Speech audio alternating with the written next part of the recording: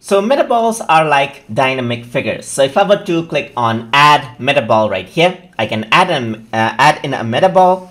And if I were to copy and paste this out by pressing Ctrl C and V right here, or if I were to press Shift D, you can see that I can create a copy right here. So you can see that I got these metaballs right here. I can press Shift D again, bring uh, more of these metaballs all together.